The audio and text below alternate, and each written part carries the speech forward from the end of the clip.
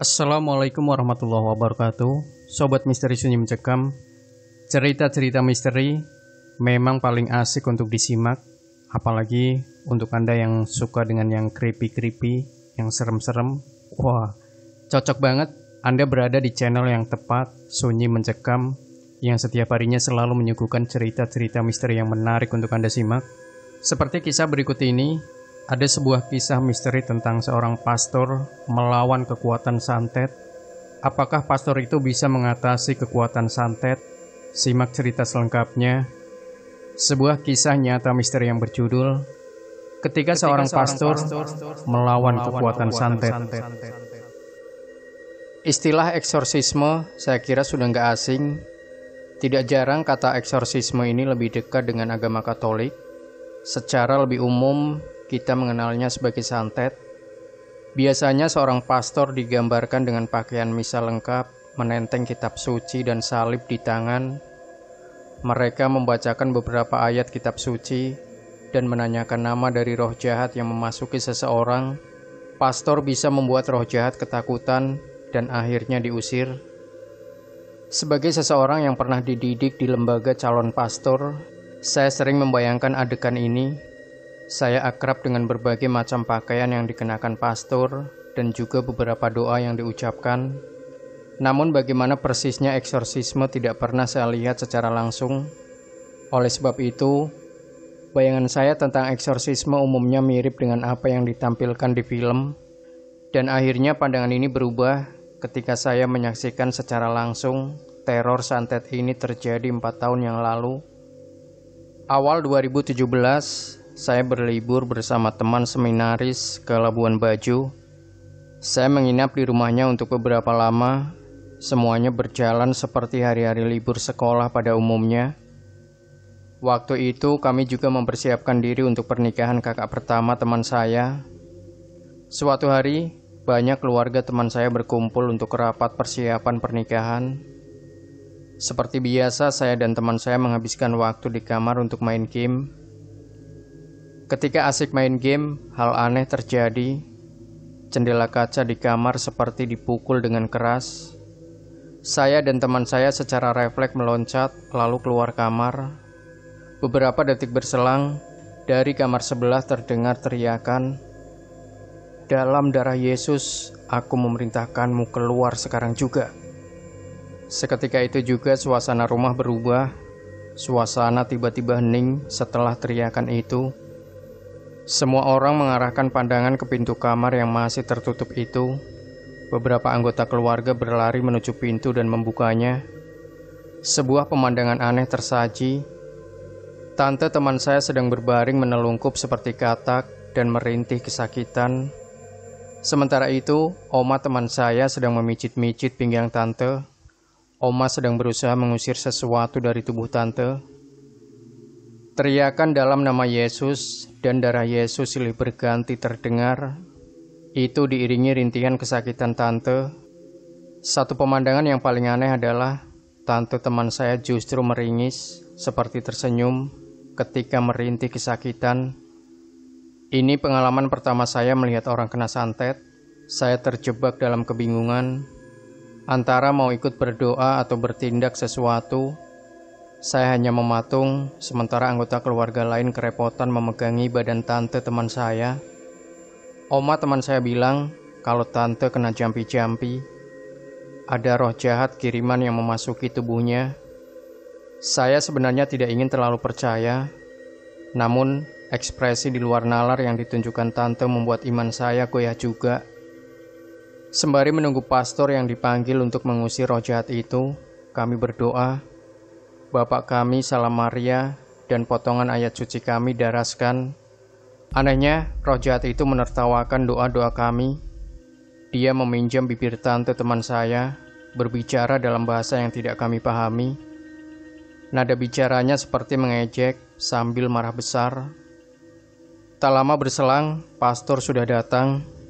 Segala adegan film dengan tema eksorsisme melintas di benak saya Apakah pastor itu akan datang dengan perlengkapan misa lengkap? Apakah pastor itu akan mendudukan tante dan membacakan segala macam ayat kitab suci? dan meminta nama orang yang mengirimi santet itu.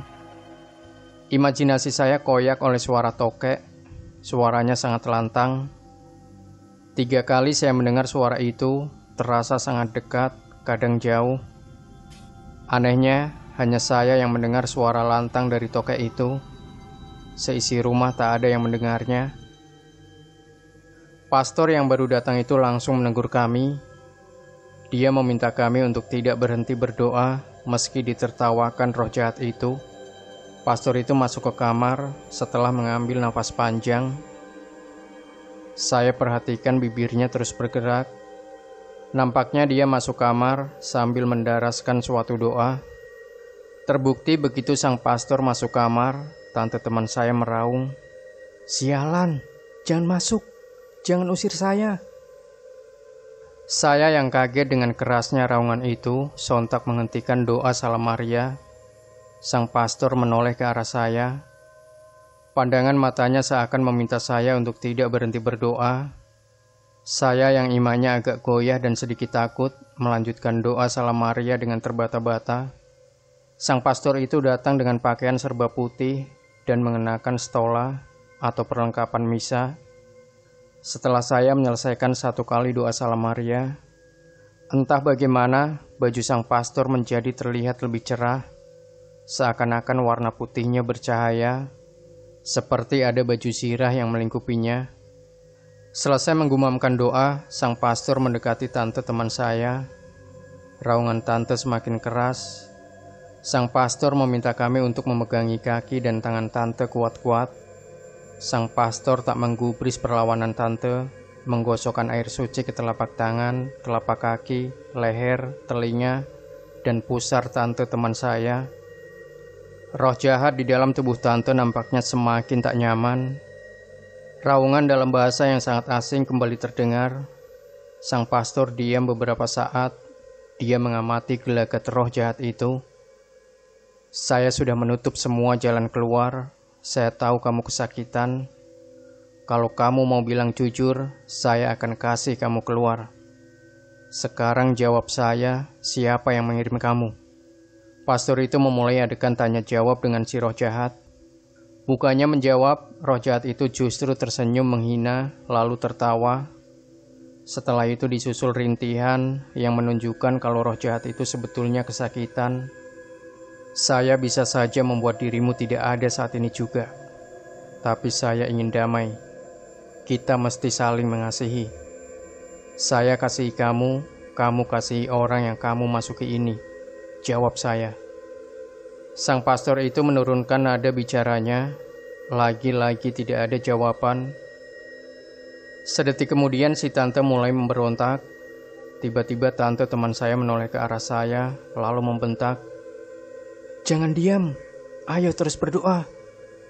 Kalimat itu ditutup dengan suara tawa yang mengerikan.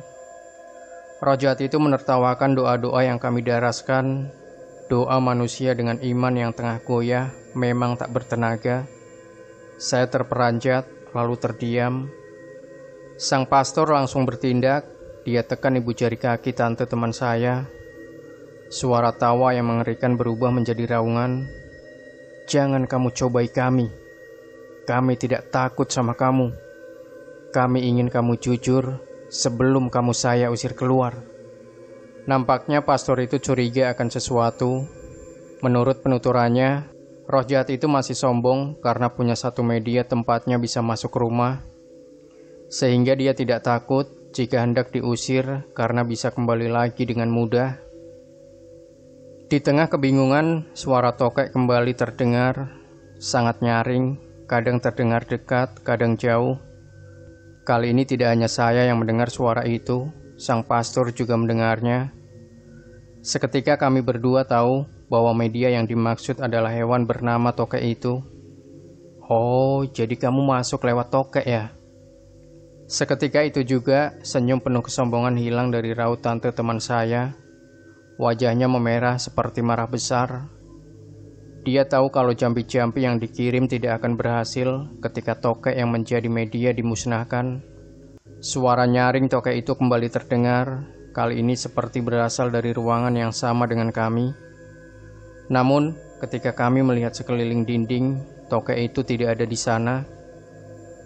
Setelah meminta anggota keluarga memegangi tante teman saya, pastor itu menggandeng saya keluar kamar. Hanya saya dan kamu yang dengar suara itu. Cari sampai dapat. Pastor bergerak keluar ke sekeliling rumah. Saya dan teman saya mencari di dalam rumah. Teman saya yang tidak mendengar suara tokek itu cuma bisa mengikuti gerak-gerik saya sambil keheranan. Ruangan pertama yang langsung saya tuju adalah kamar teman saya Kamar di mana sebelumnya terdengar suara pukulan keras di jendela kaca. Saya mencari di dalam kamar mandi tidak ada, di bawah ranjang tidak ada. Ketika hendak keluar ruangan, suara tokek itu kembali terdengar, lebih nyaring dari biasanya. Saya yang terperanjat langsung menoleh ke lemari besar di sudut kamar. Ada jarak kecil antara lemari dan dinding, dan tokek jadi-jadian itu ada di sana. Besar sekali, mungkin sekitar 50 cm, berwarna putih pucat dengan total-total berwarna merah tua. Keringat dingin langsung mengucur, bulu kuduk saya meremang. Bagaimana bisa tokek itu ada di kamar teman saya? Apakah suara pukulan keras tadi menjadi tanda masuknya tokek jadi-jadian itu? Saya langsung mencari pastor dan bilang padanya bahwa tokek itu ada di kamar teman saya, persis di balik lemari Pastor itu berjalan dengan cepat tanpa rasa takut. Dia membawa sapu lidi. Saya dan teman saya mengikutinya dari belakang. Setibanya di kamar, dengan mudah pastor menggeser lemari besar yang pastinya berat itu. Sebuah jarak cukup lebar antara lemari dan dinding terbuka. Saya tidak tahu sifat tokek. Mungkin jika dia binatang betulan, pasti sudah lari. Namun tokek itu diam saja menempel di dinding. Setelah mendaraskan suatu doa, pastor itu memukulnya. Seketika itu juga tokek jatuh ke lantai. Pastor itu memungut tokek itu dan mencekik lehernya. Mulut tokek itu lantas menganga karena dicekik cukup kuat. Sesudah itu, pastor kembali ke kamar tante sambil membawa tokek itu. Roh jahat di dalam tubuh tante meraung marah besar. Saya sudah dapat dari mana kamu masuk. Mulut tokek itu terbuka dan anehnya mulut tante ikut terbuka, persis seperti tokek tersebut. Sejurus kemudian, roh jahat itu mulai tertawa mencemooh. Semua itu ia lakukan dengan mulut terbuka. Saya sama sekali tidak melihat raut jengkel di wajah pastor yang saya temani. Dia malah mengatakan bahwa dia bisa menghilangkannya saat ini juga. Tapi sekali lagi, dia ingin jalan damai dan menanyakan maksud sesungguhnya dari pengirim roh ini. "Kamu calon pastor, kan?" Tanya pastor tersebut ke saya. "Iya, pastor," jawab saya sedikit ragu. "Pegang tokek ini, saya ingin membuat roh ini jerah." Saya membeku, takut, tapi pastor itu yakin sekali. Saya tidak menjawab. Saya berpikir keras bagaimana seharusnya saya memegang tokek yang menjadi media santet ini. Setelah memberanikan diri, akhirnya saya bisa memegangnya. Sedikit gemetaran, tapi akhirnya saya bisa mengatur nafas dan mencekik leher tokek ini. Saya sudah pegang kamu punya wujud kiriman ini. Saya mau tanya-tanya kamu sebentar sebelum kamu pergi baik-baik nanti. Siapa yang kirim kamu? Kenapa kamu kasih begini perempuan ini? Dia salah apa sama kamu? Pastor itu masih bertanya dengan nada lembut. Pertanyaan itu diulang terus. Saya mulai tidak memahami percakapan mereka karena mereka berdua mulai bercakap-cakap dalam bahasa Manggarai. Proses tanya jawab itu berlangsung agak lama. Rojat itu akhirnya mau menjelaskan siapa yang mengirim santet beserta tujuannya.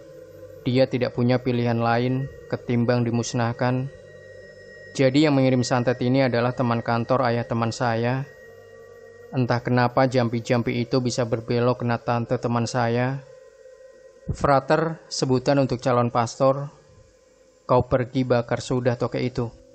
Kata pastor tersebut ke saya. Roh kiriman ini masih ingin jahat, bakar saja biar dia cerah. Saya kaget tentu saja, permintaan pastor ini sering mengagetkan, tapi sekali lagi wajahnya tidak menginginkan penolakan. Mau tidak mau saya harus melakukannya. Saya dan teman saya pergi ke belakang rumah. Kami ditemani dua keponakan teman saya. Setelah api menyala, mereka memegangi tokek itu, sementara saya menusukkan kayu ke mulut binatang jadi-jadian itu. Dari dalam rumah kami mendengar tante teman saya meraung sangat keras. Dia terdengar kesakitan. Beberapa menit kemudian, raungan itu reda dan suasana menjadi begitu hening. Roh jahat itu sudah pergi dari tubuh tante teman saya. Ketika tokek itu mulai gosong, seekor kucing hitam mendekat. Saya meminta salah satu keponakan teman saya melempar batu ke kucing itu, tapi kucing itu tidak bergeming. Dia mendekat, lalu berdiri di sebelah tokek yang terbakar. Dia duduk dan menikmati. Seram betul. Kami mulai takut dan masuk ke rumah. Di dalam, raut wajah pastor menyiratkan semuanya belum baik-baik saja. Dia memutuskan berkeliling rumah untuk menabur garam. Setelah itu, dia menyiramkan air suci ke beberapa sudut rumah. Sementara itu, tokek yang terbakar di belakang rumah sudah hilang. Kucing hitam menyeramkan juga lenyap.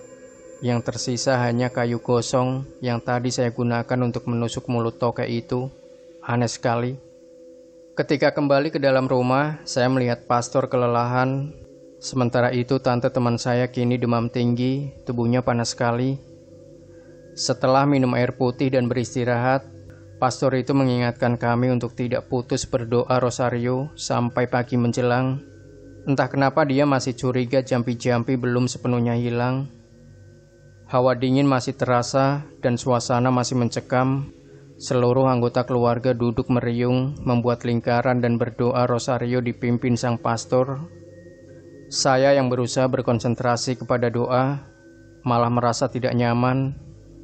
Tiba-tiba dari atas plafon terdengar suara dentuman keras sekali. Doa rosario itu terputus. Sedetik kemudian, suara tokek terdengar lagi, nyaring, dan kini bersaut-sautan tidak hanya satu, ada banyak tokek tiba-tiba muncul di plafon rumah. Malam semakin kelam dan semakin panjang, dan begitulah cerita seram yang pernah aku alami.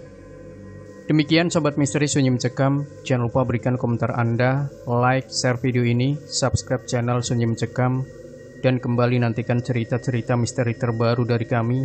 Wassalamualaikum warahmatullahi wabarakatuh.